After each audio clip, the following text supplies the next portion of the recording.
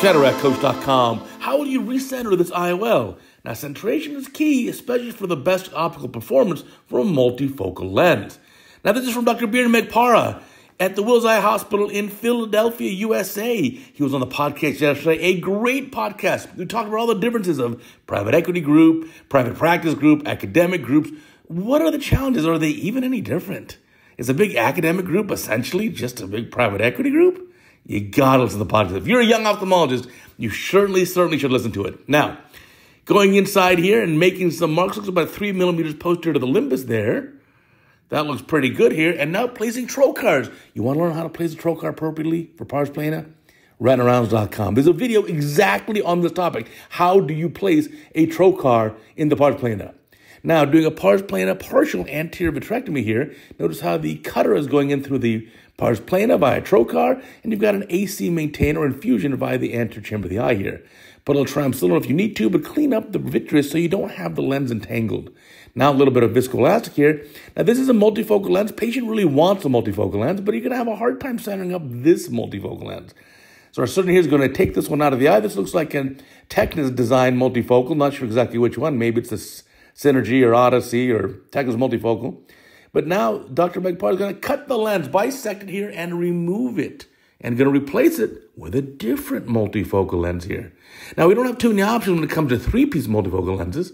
So he's going to do something unusual with a single-piece multifocal lens. Now, more anterior vitrectomy, you saw a little bit of alone. Now, passing Gore-Tex suture. Look at that. Passing of the Gore-Tex suture. And here comes, looks like a Bausch and Lomb style lens it has little eyelets at the haptic optic junction here. So he's going to pass this 8.0 Gore-Tex through those eyelets. This may be that in Envy lens, which was recently had an FDA recall here in the U.S. for some, uh, some potential TASS issues, but now I think is back on the market. And now placing the other suture as well on the other side. And now very important to keep the spaghetti string straight here. Really very important. Now folding up the lens, putting it inside the eye. And what you're going to do is you're going to fixate it with the Gore-Tex.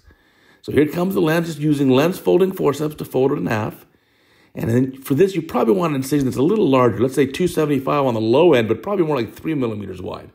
Now, there we go. Get that positioned appropriately. And you get the haptic tucked here. And it's important to have the correct positioning of the Gore-Tex around that eyelet on both sides so as to not cause a twist into the IOL. You want that optic to stay very planar and very much perpendicular or flat to the iris here. So pulling it in, there's a picture showing exactly how to loop the Gore-Tex. See that?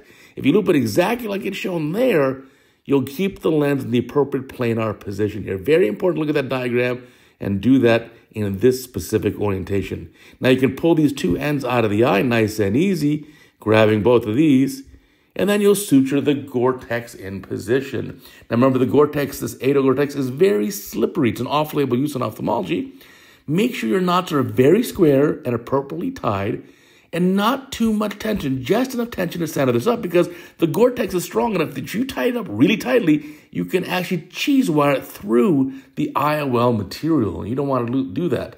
And so now tightening this up one side, then the other, just to get it appropriately centered, pushing the knot inside the sclera here. Now the trocars are obviously out. And if you need to, you can also place a temporary vicryl suture to help ensure the closure of those trocar entry sites. So again, rotating that knot around, and the lens looks really nicely centered here. Yep, there you go. Here comes the vicryl suture, just to make sure these don't leak so that you have a nice air, uh, watertight uh, closure here. Close the conjunctiva as well. That looks great. And this page is going to have a beautiful, beautiful outcome. So, in case there, hey, really check out that podcast. So much great material. The podcast series on cataract coach is available everywhere. The sole purpose is to make you a better student so you can do things like this. Look at that beautiful post op day one outcome. And look at that centration. Pow, that is bang on. So, check out that podcast. Remember also, retinarounds.com. You're ready to be every single day. You're going to love it. And learn how to place those trocars, will you?